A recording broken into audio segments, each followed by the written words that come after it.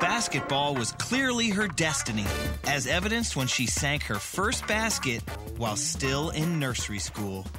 Jennifer Lynn Azzi was born in 1968 in Oak Ridge, Tennessee. She starred in softball, gymnastics, and basketball at Oak Ridge High School, where more than 10,000 people came out to watch her play in the state basketball finals. Besides the fans, Azzi also drew the attention of college coaches, including Tara Vanderveer from Stanford, who offered the 5'8 point guard a scholarship. Azzi made the most of her opportunity, leading the Cardinal to three NC2A tournament appearances and winning the national championship in 1990. She was the most outstanding player of the 1990 Final Four and won the Wade Trophy and Naismith National Player of the Year.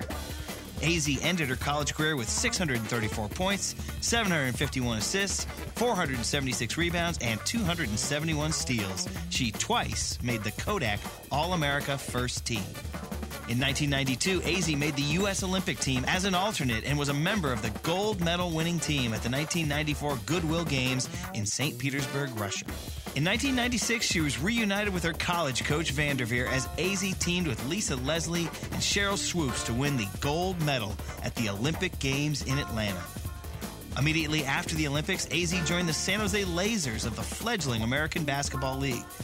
With the Lasers, she was named to the ABL All Star team three years in a row and was All ABL First Team in 1998.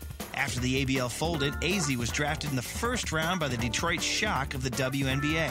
She helped lead the Shock into the playoffs her first year with the team. In 1999, she set the WNBA single season record for three point shooting at 51.7%. In 2000, Azzi was traded to the Utah Starzz, again leading her team to the playoffs in 2001 and 2002.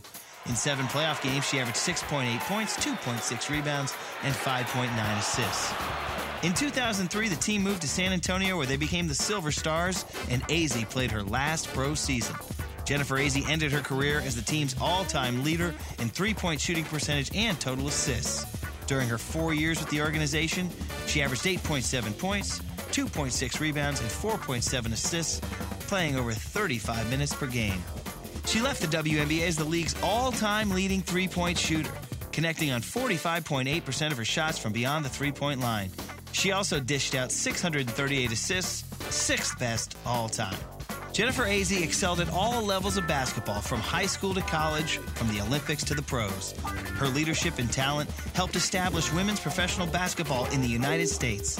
She won an NC2A title, two world championships with the USA team, and gold medals in the Goodwill Games and the Olympics. She was the youngest person ever inducted into the Stanford Athletic Hall of Fame.